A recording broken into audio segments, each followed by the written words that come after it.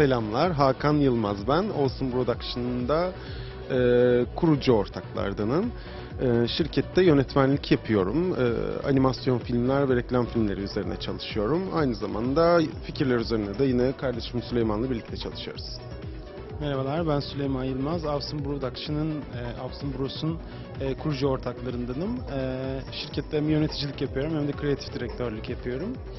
E, biraz firma hakkında ben isterseniz bilgi vereyim. Avsın Bros 2012 Mayıs ayında kurulmuş e, bağımsız bir e, kreatif stüdyodur. E, teknoloji tabanlı tasarımlar yapar.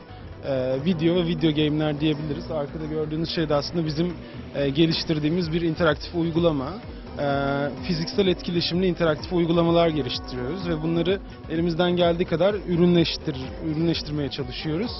E, aslında bir çeşit deneyim tasarımı ofisi diyebiliriz bizim için.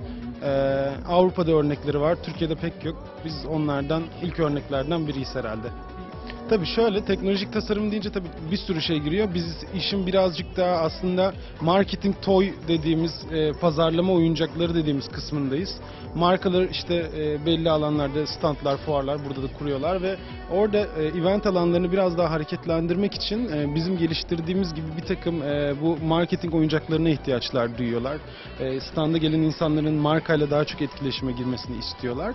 Bu noktada biz devreye giriyoruz. E, he- e, marka, markaya ve markanın hedef kitlesine uygun bir takım oyuncaklar geliştiriyoruz onlara. E, katılımcıların gelip orada standta daha keyifli vakit geçirmesi için bir takım etkileşimler tasarlıyoruz. E, ve bunların hem e, donanımını hem yazılımını hem de tüm görsel tasarımını üstleniyoruz e, bu noktada. Bunların kurulumlarını sahada yapıyoruz. Aslında yaptığımız şey markaların kendi tüketicilerine bir takım deneyimler de sunabiliyor olması ürününün dışında ya da Facebook'taki postunun vesairesinin dışında onlara bir deneyim yaşatmalarını sağlıyoruz, deneyimler tasarlıyoruz. Ben sanat tarihi mezunuyum. Dolayısıyla bu konuda biraz doluyum açıkçası. Türkiye'de tasarım biraz böyle üvey evlat muamelesi gören bir konu. Çünkü böyle e, Türklerin geçirdiği tüm dönemler boyunca böyle tasarım hep ikinci planda olmuş, işlevsellik birinci planda olmuş. O, sonra işlevsellik o kadar çok birinci planda olmuş, o kadar çok birinci planda olmuş ki tasarım hiç söz konusu olmaya, olmamaya başlamış. Yani e, ye- yeter ki çalışsın şeklinde davranılmış. Hem mimaride hem ürün geliştirme kısmında tasarım biraz böyle üvey, üvey evlat gibi kalmış ama böyle yeni geçtiğimiz bu hani artık geride bıraktığımız analog dönemle kucağımıza aldığımız dijital dönemle birlikte böyle tasarım yapmanın kolaylaşmasıyla birlikte Türkiye'den çok ciddi tasarımcılar çıktı. Birçok anlamda hem endüstriyel tasarımlar anlamında hem grafik tasarım anlamında yani hem elle tutulan fiziksel rigid olanlar hem de olmayanlar anlamında dünyanın birçok tarafında dağılmış birçok tasarımcımız çıktı. Dolayısıyla orası biraz gurur verici ve böyle e, koşarak çıkılan bir merdiven gibi geliyor bana tasarım ve henüz henüz para etmeye başladığını düşünüyorum açıkçası Türkiye'de. Yani aslında şöyle, Türkiye'deki tasarımın halini en güzel anlayacağımız şey, e, 90 yıllık bir ülkenin 13. tasarım bienalini yapıyoruz mesela. Oradan düşünürsek işte tasarım dediğimiz şeyin Türkiye'de ne zamandır e, olduğu, nereye gittiğine dair en iyi fikri o veriyor. 13. tasarım bienalimizi yaptık. E, dolayısıyla da yeni başlamış e, bir, şey diyebiliriz ama güzel hızlı adımlarla gidiyoruz. Tasarım yaptığınız zaman, e, tasarım yapmaya başladığınız andan itibaren bu risk hemen şuranızda duruyor. Yani e, ben hep bunu söylerim mesela Türkiye'de patentle ilgili ya da girişimcilikle ilgili bir şey. E, Türkiye'de girişimcilik e, mesela bundan e, 15 yıl önce çok farklıydı. Bugün şu- tamamen taklit üstüne dayalı.